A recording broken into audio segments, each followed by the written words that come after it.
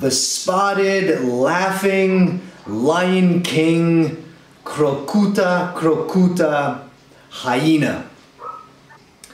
Hyenas have a very, very powerful bite.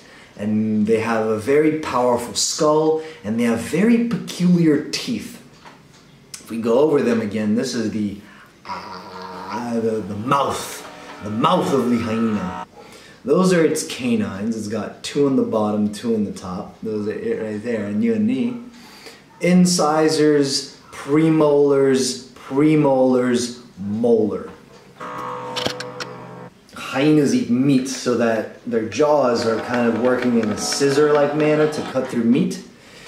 They use those carnassial teeth to do that.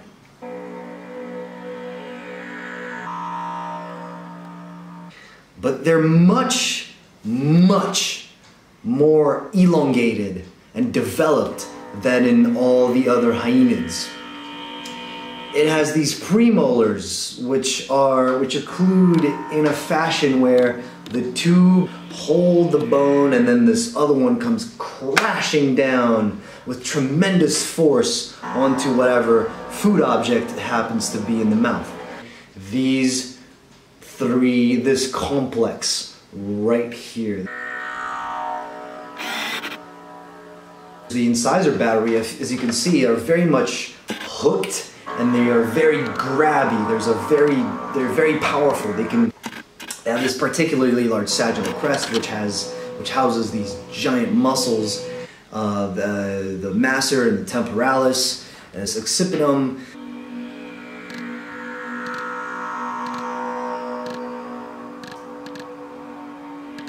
If we look at, like, this is the mastoid process, that's the equivalent structure on you and me, that would be right there as a landmark.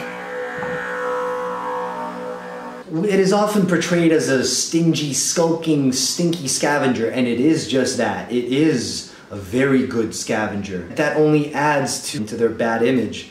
Um, not only in context of their relationship with lions, wherein actually lions steal most of their carcasses, but hyenas also will intimidate and um, steal and sometimes even kill lions, just as vice versa. And that will be covered in another video.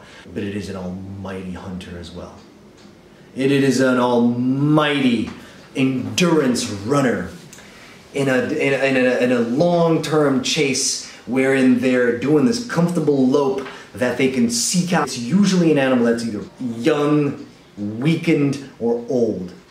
Hyenas don't have claws. The main organ of prehension in a hyena is powerful, super efficient technology. This carnassial tooth that is evolved is all meant for shearing, scissoring through skin, meat, sinew, and gristle. And it is an incredibly powerful technique combined with a very mobile neck that can get this, this mouth to be twisting and to be ripping at the same time.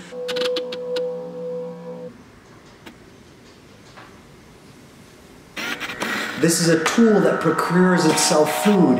This movement allows for landscapes to remain healthy and vibrant.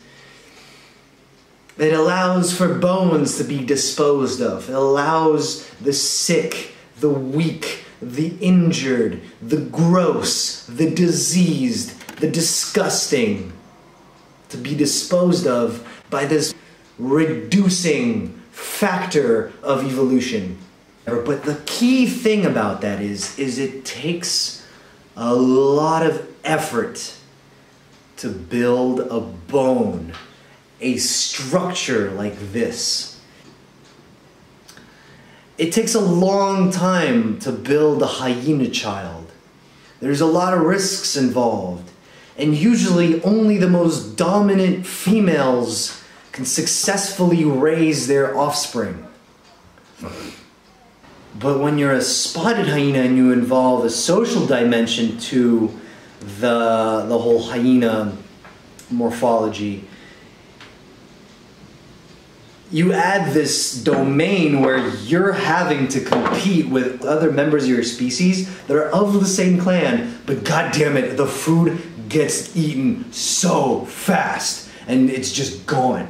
So only the females that were able to, the likely evolutionary uh, force that led to these more badass females was motherhood, was the necessity for the females to dominate and, uh, and queen it over the carcass. They have to impose their reputation. They have to be there for their children. They have to be there when their children are exploring and getting in the face of some adult and they're in the thick of the fray of a dominance ritual involving individuals that are much more powerful than themselves. But because they have their mother's rank, they have full confidence about their authority. So they are complex, incredibly smart, and perhaps one of the most sociable and socially intelligent and socially complex carnivores and mammals. They live together in clans that are structured as such. It's top female first, and then the female hierarchy, and then the male hierarchy. The females uh, are dominant over the males. They're bigger than the males. They have peculiar genitalia. The females have um, a clitoris that is like an erectile penis that is bigger, longer, and thicker than those of males. They have a pseudo scrotum, even. They have these two masses. They usually have two cubs. And hyenas have the very have another yet another peculiarity of being born a full set of canines and incisors ready to bite and ready to kill the sister will always kill her sister. The sister will submit the brother always, and the brothers will stay. You know, the males leave when they're when they're mature enough, and then the females inherit the rank of the mother. And all of those nuances and all the, all those relationships are known and have to be stored and have to be remembered and have to be you know these cards have to be played and that is due to the development of sociality in the spotted hyena. A strong skulled beast. A beast that takes a long time to develop its bones. Evolution and through its comparative function can we understand its role in our lives, in the lives of the beings that surround us, in the in the creation of landscapes that are nutritious, abundant, and from which we ultimately can benefit from. So it is with great excitement that I present this body of knowledge, and it is with great anticipation that I await the release of Lion King, which I think is single-handedly the most attention hyenas have gotten ever, uh, in, in a long time.